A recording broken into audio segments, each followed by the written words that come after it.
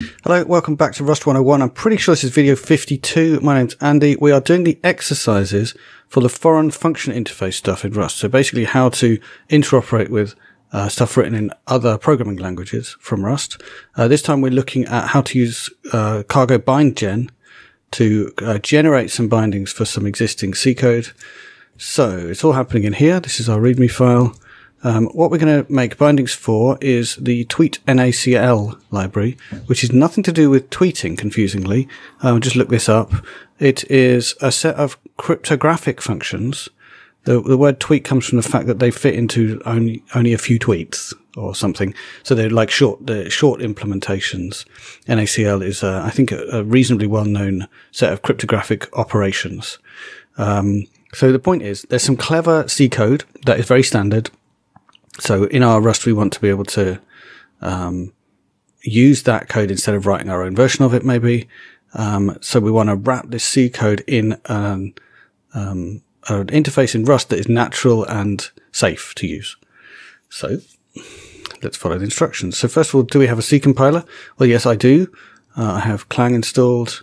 You'll need Clang or GCC installed. I think these examples use Clang, so it might be best to, to use that and we'll need bindgen. So I just installed bindgen by saying cargo install bindgen CLI. And there it is. It's already installed because I just installed it. Uh, so what the first thing we need to do is generate some bindings. So let's have a look at what we've got so far. So so far we've got um, a source with it, uh, which contains a lib and a main. We've got a build RS, not sure what's in there. Cargo.toml, uh, and then some C code in these um, tweet NACL files. And if we look at the tweetnacl.h file. There's a whole load of hash defines. And then here are some functions.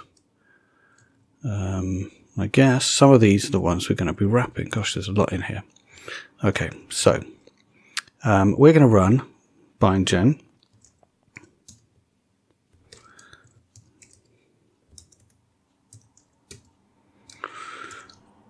by doing this. So bindgen tweet NACL. So basically, run bindgen, which we've now installed, so it should be there. Uh, give it the header file we need to um, read, and then the output should go into source slash bindings.rs. So now we should have a new file called bindings.rs. And here it is. And it's got a whole load of functions, which are basically saying this function exists in the, in the C. Um, oh, there's a whole load of constants defined up here. And then here, well, these are all the, the functions that are actually um, defined in C. And we can see they've all got these weird argument types from the stdOS raw crate, uh, or rather standard library module. Um, but basically, it's generated as a whole load of um, function definitions that we can call from our Rust. Fair enough. So now we're going to use build.rs to compile and link tweet NACL. So basically, similar to what we did in the one of the previous exercises, we're going to include uh, like doing a C compile into our Rust build by modifying build.rs um, to contain this stuff. Well, hold on. This the thing we've got here already is probably better, right? Yeah, it's the same, but just slightly, slightly better. And then I accidentally pasted this stuff in that shouldn't go here. So we're going to add CC to our build dependencies in cargo.toml.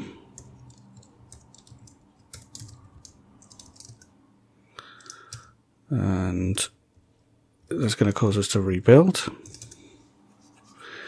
And now, yeah, this, this stuff tells cargo you should, you should re, rerun this build.rs if either of these files changed. And this says like compile the C the C file into uh, into a thing called tweetnacl.a. So when we build now, hopefully, got a load of warnings, but we should have also somewhere built a tweetnacl.a. Um, not sure where, maybe in um, that same place. There we are. Tweet NACL. No, not not actually sure where that's gone to. So let's not worry about that for now. Let's just trust that it worked. And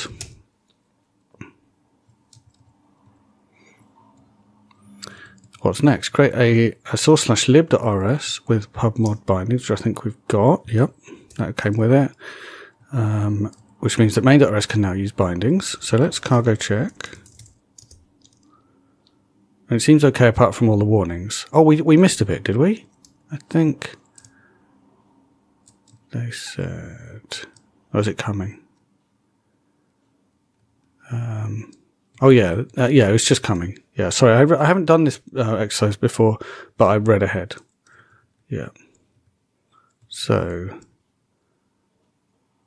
yeah, the build.rs, uh, sorry, the bindings.rs creates a load of warnings. We can turn them off by replacing build.rs with this. Okay, turn off warnings in our main, so we can do that. All right, warnings are already off in our main.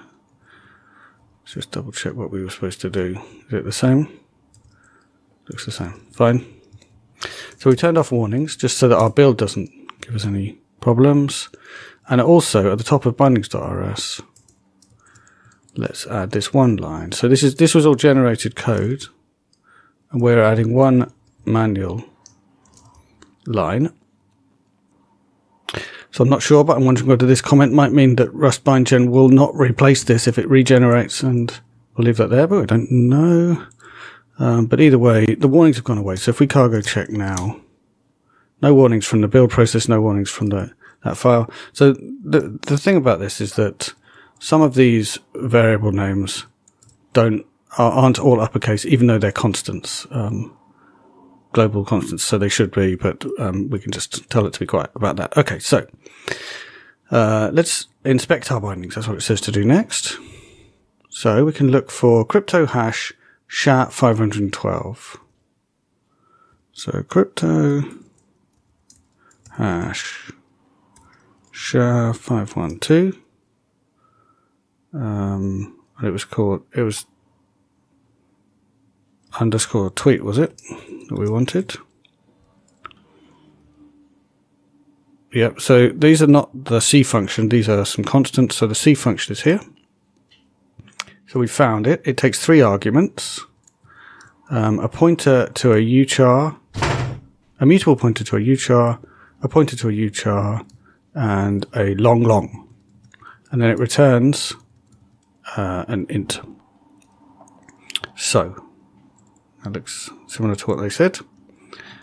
So, some observations. The definition is inside of an external C block with no body. So that means that Rust expects it to be provided by some other code that we're going to link in. It's public, meaning we can use it in our code. And we need to figure out what the arguments mean. So obviously we should read the documentation, um, which is here. No, I'm not. Oh, yeah. So there is. Here's the function in the C header file. There is no documentation so we've got to figure it out. So hopefully somewhere there's some documentation. But anyway, so argument one is a mutable pointer to a sequence of bytes. We can just confirm that by looking back. So look, it's a mutable pointer. That's what that means. So um, they're saying that's probably the output from this function. So C functions um, will quite often take a mutable pointer for the um, place where I'm going to put my answer. And then argument two is a constant pointer, so that must be some kind of input, a sequence of bytes. Um, and uh, arg3 is a length, not sure what of yet. And most likely return value, because that we've already seen there's an output parameter, return value is probably just to give some kind of error code to say whether it succeeded or failed. Um, and these are, this is obviously, this is a hassle to call this function from Rust. So what we're going to do is make some nice Rust that wraps around this so that it's easy to use. So they're going to take us through a process of um, what we might do. And they, they actually kind of changed their minds about the signature a, a few times in here. But I think we should actually do each of these things and see how it goes. So we'll start off with something that is a kind of a, um, a fairly straightforward translation of the C into Rust, which is um, we can assume that that input, we are going to assume that that input parameter is a, a, a pointer to the beginning of a list of bytes and the third argument is the length of that list of bytes. So in Rust, we're going to write a function more like this. So let's write it in, uh, maybe we'll write it in lib. Not sure exactly where we're supposed to write it. Um, and then we're going to call bindings crypto hash blah blah blah blah blah blah blah tweet. And we're going to pass in the output parameter so I assume that's going to be out dot um, as mute putter. So basically giving out a pointer to out so that the, the user can write into it. And then we're going to call, we're going to pass in a pointer to the data, um, which is uh, this data dot as putter and then data dot len. like so. Um, and it, this should be a correct thing. And then we're just going to return the answer that comes back from there. And it should, hopefully that will just convert itself automatically. Now this is unsafe because it calls a an external C function. So we've got no way of knowing what that does. So it's unsafe. So we have to wrap it up in unsafe. And every time we wrap it in unsafe, we should say why. So safety. Um, hopefully the hopefully out is big enough. Right? Because otherwise um, this thing might write into out right beyond the end of out. So that doesn't sound very safe at all. This is not you know this is not a very good safety comment so far. Um, and then we could say data uh, I mean data is a slice so its start and length are valid, right? So basically, if someone gave us a, a, a, slice, then we can be sure that we're giving the right information into this function, assuming, of course, these are the pointer and the length, but we assume we got that right. Now, uh, for this, I, I read ahead and you can do this, which just says, okay, I know it's a U size, but just treat it as a U64, which is what it, um, what it was asking for. Because it's the actual type of this function is a long long, which in, in Rusty terms comes out of the U64. So now we've got some code that calls this. Um, and it's not safe because this is a terrible clanger, but this bit of it's safe. So now we can run this code. So let's do that. So we're going to call, um, well, what are we going to call? Now, the name of this library, which I guess is uh, tweet NACL. So tweet NACL binding, yeah, that's right. That's the name of this project. And then it has one function, hash this thing. It takes in and out on a data. And then, I don't know, we've got to, what's, uh, we're going to print out out, I guess. And out is going to be uh, let's just make it be a vec for now. And data is going to, well, it's got to be a slice of U8s. So what if we just did um, A, B, C, D, E, F, right? Something like that. And we we let this be a mutable reference to out that we're passing in. And then uh, this, we've got to turn it into a string or something. Um, we're not really sure what hashing, I guess hashing returns a, an array of U8, so, or a vec of U8. So we need some way of displaying this. So um, we could convert it into a string lossily, but maybe some kind of um, maybe we could just turn it into a vec of numbers and then print that out. Like, what if we just what if we just debug print it? That should be good enough. Okay, so there's a, there's a deliberate error in this code. Let's run it. And it should crash, I guess. Yeah, segmentation fault. So, did you spot the deliberate error in this code? Well, we said hopefully out is big enough. And then we just went ahead and passed in out to crypto hash SHA 5112 tweet um, and hoped that uh, the person had passed in a big enough thing. Now, the person actually passed in an empty vector. So, nope, it's not big enough. So let's just, for the sake of argument, let's make it big enough.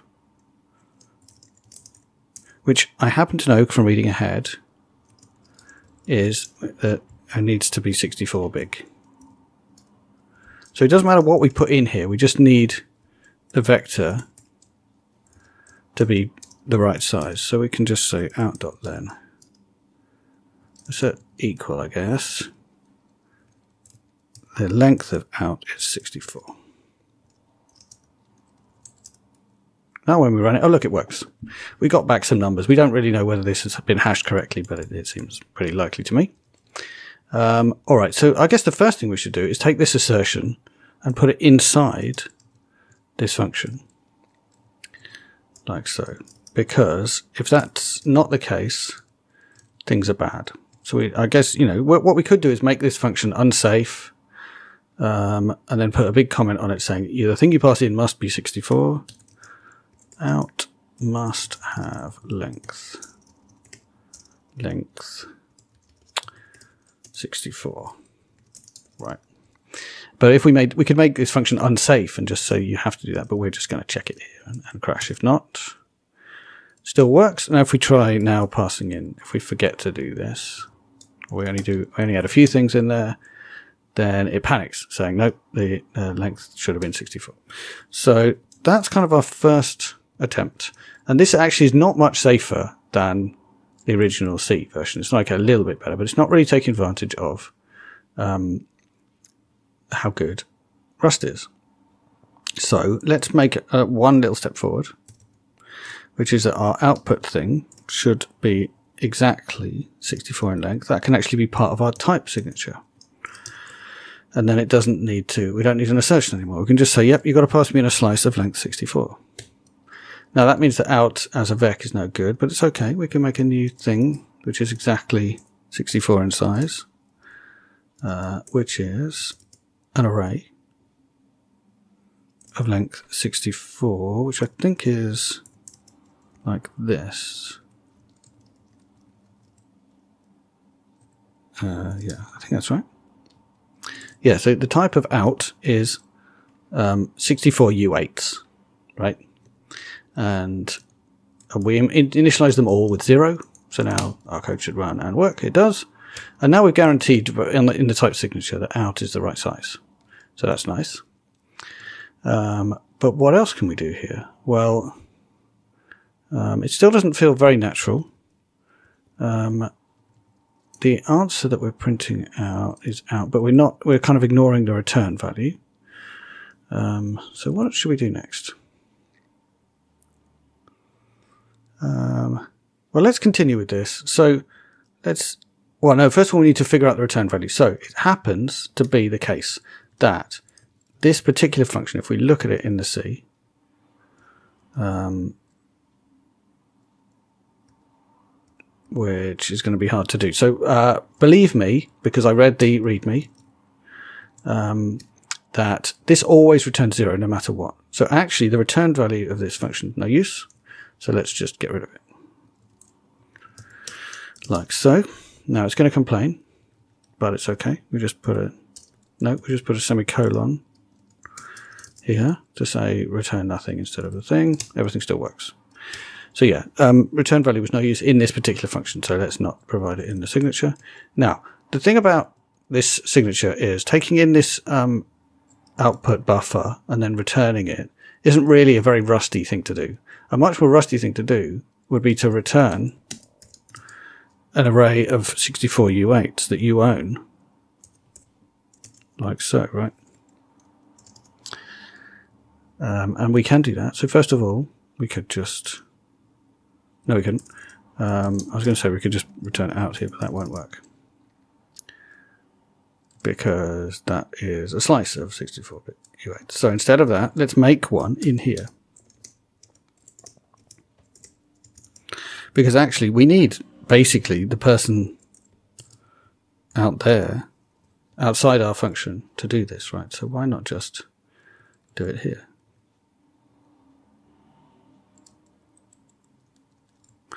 And let's get rid of this. So now we only take one argument, which is our input, and we just return our output. And we've got to use it correctly. So instead of making an out and passing it in, we just get it back. Like so. And see how much nicer this is getting. So now we've got what looks like a very nice interface on this function. Still works exactly the same way. Still safe, or it's safe, getting safer all the time. And now we can never accidentally allocate the wrong size of thing or resize it later. It's just we got back 64 bytes exactly from this function uh, by creating those 64 bytes and returning them. So next thing we can do if we want to. So I, I might, oh, on, let's think about safety a little bit. Uh, so now we can say out is definitely big enough. Out is exactly the required size. And yeah, data is a slice search starting next still valid, it's still true. Um, so um, I would probably stop there. But what you can do is go even further. So notice when we create out that we're actually um, zeroing out all these bytes, even though um, it happens to be the case because we read the C. We have to read the C code to know this, but it has to be the case that actually um, uh, this function will always um, overwrite all 64 bytes of out, no more and no less. So we don't actually need to initialize the memory with this zero. What we can do instead is we can use maybe uninit. Um, like this. Is that right? I haven't used maybe uninit before, so I might be doing it wrong. Um, now, how do you do it? You, you create something. Oh, okay. We need to give a type here, so we can say it's a maybe uninit of um, array of U8. No, maybe uninit of U8s, maybe, I guess. And then out is going to be, we need to somehow convert that back so we can assume init. Now, it's the wrong type because I've done the wrong type. So, yeah, yeah. So this should be a maybe uninit of uh, an array of U8 of length 64. Something like that. Um, when we assume init, that's unsafe and it should be. And also this is wrong. So I guess this should be. How does maybe uninit work? We need to we need to tell it surely how much memory to allocate here.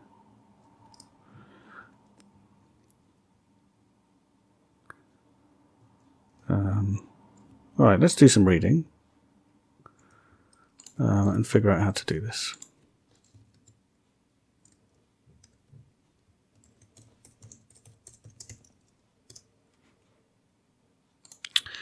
Like so. So we can either make it um, make it zeroed and then assume it's in it. Uh, or we can make an uninit and then, oh, so this would be bad, right? Making some uninitialized memory and then assuming it's initialized. But yeah, I'm just looking at what, how do we say, um, that the amount of uninitialized memory you should make is space for 64 bytes. So here we're making space for one I32, I think. So I think we're doing the right thing. Um, by by declaring it in this way and saying, look, this is make space for 64 U8s, but they're, they're uninitialized at the moment. Pass it into this function, um, which is expecting a pointer to U8, but it's getting a pointer to an array of U8. So I guess we want to do something like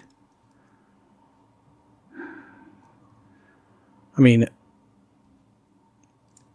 maybe we want to do as putter again or something. We want a pointer to the first one. Um, so what about right? No, that's actually overwriting it. We definitely want a mutable pointer, but we want it to be a different type. What if we just kind of cast it like this? Okay, alright, that feels dangerous to me, but it does seem to work. So we got back a, a mutable pointer to an array of U8s, and then we just said, oh, and treat that as a pointer to a U8, which it, it, it is in a way, so that's fine. Now we're going to assume init, but this is obviously unsafe because how is Rust supposed to know that this that out has become initialized? All it knows is it was definitely uninitialized. Then we passed it in to to a function. Now, like we need to say safety. Uh, we happen to know that CryptoBlah writes all 64 bytes of its output array. Therefore, all 64 bytes of out are initialized and this is all safe. And when I cargo run, it won't crash. It'll just work fine, which it does. Look at that. So good. All right. So uh, we've done pretty well. Um, this feels to me like kind of the best, um, the best implementation of a like a wrapper around this thing that we can do. This maybe uninit stuff makes me a bit nervous, um, but it makes sense, so it's probably fine. So let's read through the, the, the story, the story that they wanted us to take. So they basically we started out with whoops this um uh, this signature, and then they are like taking us through the story that I just took us through, and I read this ahead, which is why hopefully what I did matches up. So they say by looking at the source code, we can see the contract is stronger. The output is always 64 bits wide, and we only ever return zero, which means we don't care about the return value.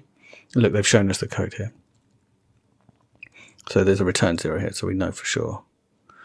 And we can see, look, from one, well, actually, I won't, I won't try and speculate about how this code works, but it, it, they say it overwrites all 64 bytes, like we said. So, um, they're saying we can model that. So first of all, like, like we did, pass in a, um, a reference to an array or a slice uh, of exactly 64 bytes. And even better, we can return that array directly. And it will all be fine, basically. Um, we just need to do the transformation that we have done. And there should be no performance penalty there. Um, some notes here about the C ABI actually says if you if you return a large thing, then actually the stuff goes on the stack, not there. Um, then yeah, then we use a pointer. Basically, yeah, like basically it's going to turn out the same underneath is what we're saying. So now we've got the signature. Um, we're going to call it with these three arguments. This is all the stuff we've just done, right? Um, so, oh yeah, this, oh sorry, no, this is, yeah, no, that's fine. So, oh we wrote our code in lib. They're writing their code in main. That's where this is a bit different. So in lib, we can get at this function by just using bindings colon blah, blah, blah. Whereas in main, to call that function, we have to go through the package name tweet nacl bindgen. Fine. Um, blah, blah, blah, blah, blah. Bindings is the module name. Onto the implementation. So do it all in an unsafe block. Pass in the arguments. We've done all this. Um, and then for data, it's as putter and len as underscore. This is the bit I read ahead where we can see that. So basically, this is a U size. It needed a U64, but if you just as it, it just does it does the right thing. And then we, uh, we they're creating a, a 64 byte array, and then they're doing a reference to result as a mutable reference to an underscore. So we've done, I think what we've done is equivalent. So we said as mute putter as, they said a reference to it as mute putter.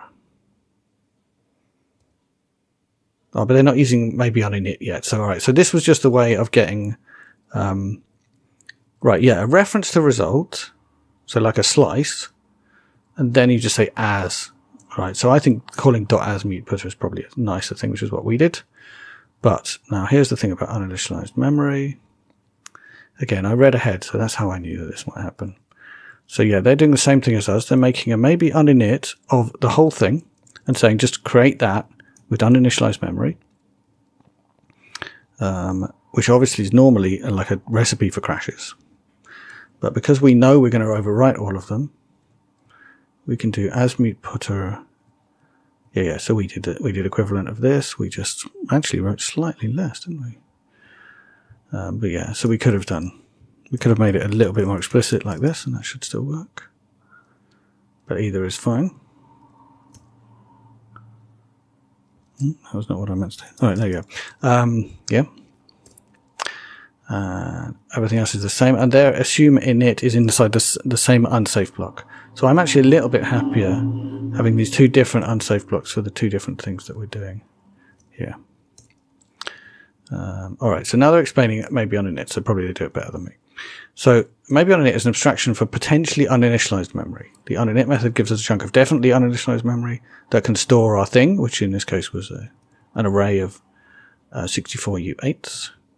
Um, and then what they're saying is you can look at the um, IR code that comes from the compiler to see to verify that this is what's happening. So LLVM is the compiler we use to compile Rust, like underneath Rust, what Rust, what the Rust compiler emits is LLVM IR, which stands for intermediate something.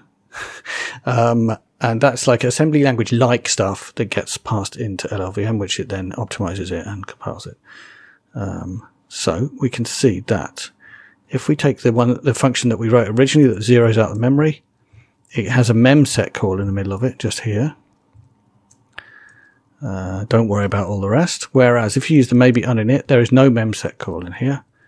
So we're doing less work. That's the point. Um, all right. So that was really all we needed to look at. So just look, I guess just to go over one more time what we did to wrap up this thing. So we had some C code and a header file and we ran bindgen, giving it the header file and uh, a source file to write out into. That wrote out all our stuff into here, which has all these signatures of all these C functions.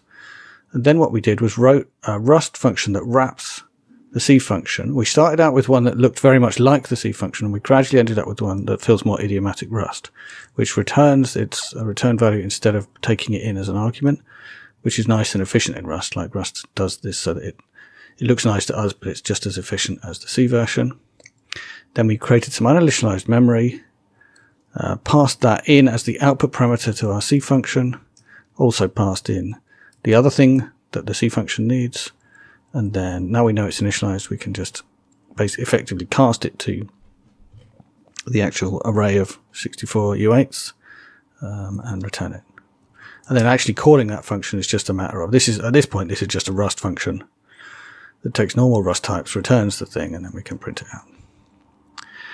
So that was how to wrap something a bit more real uh, in some Rust code. And also, I guess it was a little bit of waffle about why we go to the effort of making a wrapper like this instead of just writing code against these raw interfaces.